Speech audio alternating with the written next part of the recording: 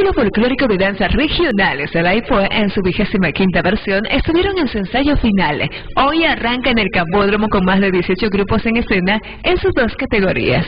Estamos a pocas horas del festejo eh, de la boda de plata del Festival El Aipue, un proyecto que la verdad siendo muy optimista no esperaba que llegara tan lejos, de 1991, cabalmente de la primera semana de septiembre.